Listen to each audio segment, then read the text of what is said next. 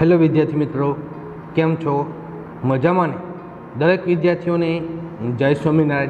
વિદ્યાર્થી મિત્રો, છેલ્લા આપણે પાંચમા પાઠની શરૂઆત કરી હતી કે જેમાં આપણે ધાતુ વિદ્યા વિશે, રસાયણ વિદ્યા વિશે તેમજ ખાસ શલ્ય ચિકિત્સા વિશે આપણે માહિતી મેળવી.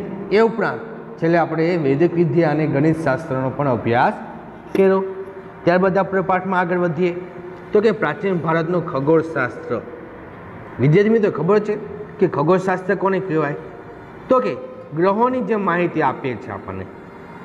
અને એ ગ્રહોની જે આપણને માહિતી આપતું શાસ્ત્ર એટલે શું? તો કે ખગોળશાસ્ત્ર. અને આ ખગોળશાસ્ત્રની શોધ પણ એ પ્રાચીન ભારતમાં થઈ ચૂકી છે. જેમાં પ્રાચીન ભારતે ખગોળ વિદ્યામાં આપેલું પ્રદાન એ નીચે આપણને આપ્યું છે. જેમાં બધા જ શાસ્ત્રોમાં ખગોળશાસ્ત્ર સૌથી પ્રાચીન શાસ્ત્ર છે. કે જેટલા શાસ્ત્ર છે, એટલે કે ગણિતશાસ્ત્ર જ્યોતિષશાસ્ત્ર વાસ્તુશાસ્ત્ર જે શાસ્ત્રો છે, એ બધામાં ખગોળશાસ્ત્ર સૌથી પ્રાચીન શાસ્ત્ર છે. ભારતની પ્રાચીન વિદ્યાપીઠોમાં ખગોળશાસ્ત્રનો પદ્ધતિસર અને ઊંડો અભ્યાસ કરવામાં આવતો હતો. તેમજ જેમાં ગ્રહો અને તેમની ગતિ, કે ભાઈ જે મંગળ, બુધ, ગુરુ, શુક્ર, શનિ, જે કાંઈ ગ્રહો છે, એ ગ્રહો ગતિ કેવી રીતે કરે છે? નક્ષત્રો અને અન્ય અવકાશી ગ્રહો વિશે એ આપણને વાત કરે છે. અને તેના પરથી ગણતરી કરીને ખગોળને લગતી માહિતી એકત્રિત કરવામાં આવતી હોય છે. મહાન ખગોળવેતા અને જ્યોતિષશાસ્ત્રી વરાહમિહિરે પોતાના પંચ સિદ્ધાંતિકા નામના ગ્રંથમાં તો જ્યોતિષ અને ખગોળશાસ્ત્ર વિશે પ્રમાણભૂત માહિતી આપી હતી. આજે પણ વિદ્યાર્થી મિત્રો જો મોટાભાગના લોકો કે જે પોતાનું જે જન્મની કુંડળી હોય છે તો એમાં મોટાભાગે જો ગ્રહો દર્શાવેલા હોય છે, કે જે ગ્રહોના આધારે છે, એના ભવિષ્ય વિશે ચર્ચા વિચારણા થતી આપણે જોવા મળે છે. અને આજે તો વર્તમાન સમયમાં ઘણા બધા જ્યોતિષશાસ્ત્રીઓ પણ આ ગ્રહોને ધ્યાનમાં રાખીને એ લોકોનું ભવિષ્ય કહેતા હોય છે. તેમજ ગ્રહો પરની રાશિફળ પ્રમાણે જ્યોતિષ ફલિત કરવામાં આવતું, કે ભાઈ કયા લોકોને એના જન્મસ્થાનના આધારિત કયા ગ્રહો છે ભારે છે, કયા ગ્રહો છે, એને અસર કરે છે, તો એ ગ્રહો પરથી એનું રાશિફળ નક્કી થાય છે. અને એના આધારે છે એનું જ્યોતિષ એટલે કે એનું ભવિષ્ય છે, એ નક્કી થતું જોવા મળે છે. અને ગુપ્ત યુગના મહાન ખગોળશાસ્ત્રી એવા આર્યભટ્ટે સૌપ્રથમ પ્રતિભાતી એટલે કે સાબિત કર્યું હતું કે પૃથ્વી પોતાની ધરી પર ફરે છે. અને શું સાબિત કર્યું હતું? અગાઉ પણ આપણે જોઈ ગયા છીએ કે પૃથ્વી પોતાની ધરી પર ફરે છે અને ચંદ્રગ્રહણ તો કે પૃથ્વીના પડછાયા વડે થાય છે. કે પૃથ્વીનો જ્યારે પડછાયો જ્યારે ચંદ્ર પર પડે છે, ત્યારે ચંદ્રગ્રહણ થાય છે. અને વિદ્વાનો આ બાબતને અજરભર કહેતા હતા કે જેને વાસ્તવિક સ્વરૂપે તેને માનતા હતા. અને ખગોળ વિજ્ઞાન ક્ષેત્રે આર્યભટ્ટનું મહત્ત્વનું યોગદાન છે. કારણ કે આર્યભટ્ટે ખગોળ વિજ્ઞાનમાં ઘણી બધી બાબતો અને ઘણા બધા સિદ્ધાંતો કે જેનું મહત્ત્વનું યોગદાન છે. તેથી જ ભારતના પ્રથમ ઉપગ્રહનું નામ આર્યભટ્ટ રાખવામાં આવ્યું છે. ખાસ યાદ રાખજો વિદ્યાર્થી મિત્રો, કે ભારતનું જ્યારે પ્રથમ ઉપગ્રહ છોડવામાં આવ્યું, તો એ ઉપગ્રહનું નામ શું રાખવામાં આવ્યું? તો કે આર્યભટ્ટ રાખવામાં આવ્યું. અને બ્રહ્મગુપ્ત નામના વૈજ્ઞાનિકે બ્રહ્મ સિદ્ધાંત નામનો ગ્રંથ રચ્યો હતો અને તેમાં તેમને ગુરુત્વાકર્ષણ નિયમો દર્શાવ્યા હતા. યાદ છે ને વિદ્યાર્થી મિત્રો, કે જે ધોરણ છ, સાત, આઠમાં કે ગુરુત્વાકર્ષણના નિયમો તમે ભણી ચૂક્યા છો. તો આ પ્રકારે છે કે જે ખગોળશાસ્ત્રો છે કે જે પ્રાચીન સમયમાં વિકાસ પામેલો. ત્યારબાદ જ્યોતિષશાસ્ત્રમાં પણ ભારતનું ઘણું પ્રદાન છે. કારણ કે પ્રાચીન સમયમાં જ્યોતિષશાસ્ત્રમાં પણ ઘણા બધા સંશોધનો એ થઈ ચૂક્યા છે. જેમાં વરામિહિર જે મહાન ખગોળવેતા અને જ્યોતિષશાસ્ત્રી હતા. કે જે મહ- મહાન એવા ખગોળશાસ્ત્રી તો હતા, પણ મહાન એવા જ્યોતિષશાસ્ત્રી પણ હતા. કે તેમણે જ્યોતિષશાસ્ત્રને તંત્ર, હોરા અને સંહિતા એમ ત્રણ ભાગમાં વહેંચ્યું હતું. કેટલા ભાગમાં? ત્રણ ભાગમાં. કયા કયા? તંત્ર હોરા અને સંહિતા. વરામિહિરે તેમના બૃહદ સંહિતા નામના ગ્રંથમાં આકાશી ગ્રહોની માનવીના ભવિષ્ય પર થતી અસરો જણાવી છે કે માનવીનું ભવિષ્ય એ ગ્રહોના આધારે છે, પરિવર્તન પામતું હશે અને એ આકાશી ગ્રહોના આધારે માનવીનું ભવિષ્ય છે ભાગવામાં આવે છે. તેમણે આ ગ્રંથમાં મનુષ્યના લક્ષણો અને પ્રાણીઓના જુદા જુદા વર્ગો વિશે, તેમજ તેનો લગ્ન સમય, તળાવો, કૂવાઓ ખોદ, ખોદાવવા, બગીચા બનાવવા, ખેતરોમાં વાવણી કરવી વગેરે પ્રસંગોના શુભ મુહૂર્તોની માહિતી પણ આપીએ છીએ કે આજે એના જ્યોતિષશાસ્ત્રના આધારે મનુષ્યની એ ગ્રહોની સ્થિતિના આધારે કહી શકાય કે આ મનુષ્યના લક્ષણો કેવા હશે. પ્રાણીઓના જુદા જુદા વર્ગો પાડી શકાય છે અને માનવ સમુદાયમાં લગ્નનો ચોક્કસ સમયગાળો પણ ગ્રહોની સ્થિતિના આધારે કહેવામાં આવે છે. તેમજ જે કાંઈ તળાવો કે કૂવાઓ ખોદવા હોય, બગીચા બનાવવા હોય, તો એનો પણ ચોક્કસ એ સમય નિર્ધારિત કરવામાં આવતો. તો વગેરે પ્રસંગોએ શુભ મુહૂર્તોની માહિતી આપી છે કે ભાઈ કઈ ચીજ વસ્તુમાં તે શુભ મુહૂર્ત કયા છે? અને વિદ્યાર્થી મિત્રો, મોટાભાગે આપણે બેસતા વર્ષ દિવસે જોઈએ છીએ, રક્ષાબંધનના દિવસોમાં પણ જોઈએ છીએ કે શુભ મુહૂર્ત જોઈએ છીએ. અને શુભ મુહૂર્ત જોયા બાદ એકબીજાને રાખડી બાંધીએ છીએ. લગ્નના પ્રસંગો પણ આજે જુઓ કે સારા મુહૂર્તો, સારી તારીખો જોઈને જ એ કરવામાં આવતા હોય છે. ત્યારબાદ વાત કરીએ તો વાસ્તુશાસ્ત્ર.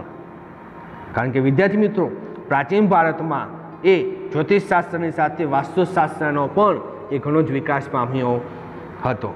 જેમાં વાસ્તુશાસ્ત્ર એ જ્યોતિષશાસ્ત્રનું જ એક અવિભાગ્ય અંગ છે. વાસ્તુશાસ્ત્ર શું છે? તો કે જ્યોતિષશાસ્ત્રનું જ એક અવિભાજ્ય અંગ છે. અને બ્રહ્મા, નારદ, બૃહસ્પતિ, ભૂગો વશિષ્ઠ અને વિશ્વકર્મા જે પ્રાચીન વાસ્તુશાસ્ત્રના પ્રણેતાઓ કહેવાય છે. શું કહેવાય છે? પ્રાચીન સમયના આપણા વાસ્તુશાસ્ત્રના પ્રણેતાઓ છે તેઓ. અને આસદ્રષ્ટા અને પ્રસારક પણ હતા. તેમને રહેઠાણની જગ્યા કે ભાઈ તમારું મકાન છે, તમારું રહેઠાણ છે, કઈ દિશા તરફ છે, તમારો પ્રવેશ દ્વાર રાખો. તેમજ મંદિર, મહેલ, અશ્વશાળા એટલે કે ઘોડાઓની શાળા, કિલ્લા, શસ્ત્રાગાર એટલે કે પહેલાંના સમયે રાજા મહારાજોને શસ્ત્રો કઈ જગ્યાઓમાં રાખવા, તેમજ નગર વગેરેની રચના કેવી રીતે કરવી, તેમજ કઈ દિશામાં કરવી, તેના સિદ્ધાંતો આપ્યા છે. કારણ કે વિદ્યાર્થી મિત્રો, આજે પણ વર્તમાન સમયમાં જોઈએ તો મોટાભાગના રહેઠાણો આજે વાસ્તુશાસ્ત્રને ધ્યાનમાં રાખીને કરવામાં આવે છે. આજે પણ જો વિદ્યાર્થી મિત્રો ઘણા બધા મંદિરો એવા છે કે જે મંદિરોની રચના વાસ્તુશાસ્ત્રના આધારે છે કરવામાં આવી છે. એના જે પ્રવેશદ્વાર જે દિશા તરફ હોય, એ દિશામાં તમને જોવા મળે છે. ઉદાહરણ તરીકે, વિદ્યાર્થી મિત્રો, મહાદેવનું મંદિર છે. આપણે મહાદેવના દર્શન કરવા જઈએ છીએ, તો મોટાભાગની એના પ્રવેશદ્વાર કઈ દિશામાં છે? તો કે ભાઈ સૂર્યોદય થાય છે ત્યાં, એટલે કે પૂર્વ દિશામાં. તો એ જ સ્વરૂપે હનુમાનજીનું મંદિર તમે જુઓ છો. તો હનુમાનજીનું મોટાભાગનું પ્રવેશ તો એનું ક્યાં છે? તો કે દક્ષિણ દિશામાંથી તમે પ્રવેશ કરો છો. તો ચોક્કસ મંદિરો માટેના પણ એ વાસ્તુશાસ્ત્રમાં નિયમો છે. તેમજ મહાન ખગોળવેતા અને જ્યોતિષશાસ્ત્રી વરામિહિર રચિત બૃહદ સંહિતામાં વાસ્તુશાસ્ત્રનો ઉલ્લેખ થયેલો છે કે વરામિહિર જે ગ્રંથ લખ્યો બૃહદ સંહિતા, એમાં વાસ્તુશાસ્ત્ર લગતી તમામ બાબતો કે જેનો ઉલ્લેખ કરવામાં આવ્યો છે. અને પંદરમી સદીમાં મેવાડના રાણા કુંભાઈ કે જેને વાસ્તુશાસ્ત્રના જૂના ગ્રંથોમાં સુધારા વધારા કરાવીને એ વાસ્તુશાસ્ત્રનો પુનરુત્થાન કરાવ્યો હતો. ખાસ યાદ રાખજો વિદ્યાર્થી મિત્રો, કે વાસ્તુશાસ્ત્રનો પુનરુત્થાન કોને કરાવ્યો હતો? તો કે પંદરમી સદીમાં મેવાડના રાણા કુંભાઈ, કે જેને વાસ્તુશાસ્ત્રમાં ઘણા બધા સુધારા વધારા કરી અને પુનરુત્થાન કરાવેલો. આજે જગતના અનેક દેશોએ ભારતના વાસ્તુશાસ્ત્રને પ્રતિષ્ઠાને મહત્ત્વને સ્વીકાર્યા છે. અને આજે તો ભારતનો મોટાભાગની ચીજવસ્તુઓ પણ જુઓ કે વાસ્તુશાસ્ત્રના આધારે જ રાખવામાં આવતી જોવા મળે છે. અને ભારતની પૌરાણિક માન્યતા મુજબ વિશ્વકર્મા કે જે દેવોના પ્રથમ સ્થપતિ કે આર્કિટેક્ટ કહે છે, કે જેને વિશ્વની રચના કરી તે વિશ્વનું જે સ્વરૂપ આપ્યું, તો તેમને તો વાસ્તુશાસ્ત્રના આઠ વિભાગો પાડ્યા હતા. કેટલા વિભાગો પાડ્યા હતા? તો કે આઠ વિભાગો છે ને પાડ્યા હતા.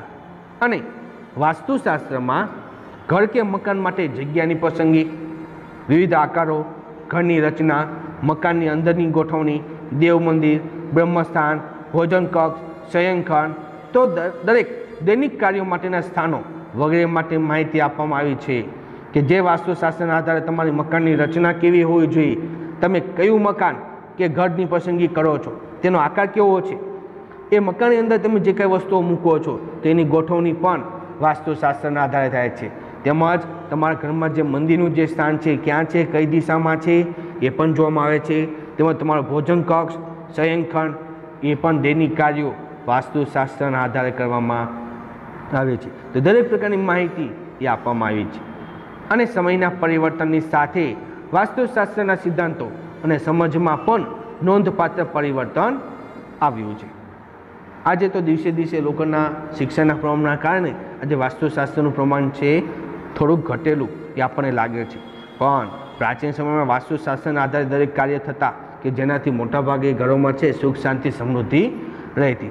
અને બિહારમાં સારનાથ ખાતે આવેલો એકસો અઠ્યાવીસ ફૂટ ઊંચો સ્તંભ, કે જે ભારતની પ્રાચીન વાસ્તુકલાનો એક ઉત્તમ નમૂનો છે. ખાસ યાદ રાખજો કે જે બિહારમાં સારનાથની ખાતે આવેલો એકસો અઠ્યાવીસ ફૂટ ઊંચો સ્તંભ, કે જેની રચના કરી, કે જે વાસ્તુકલાનો છે, શું છે, તો કે જેનો ઉત્તમ નમૂનો ગણાય છે.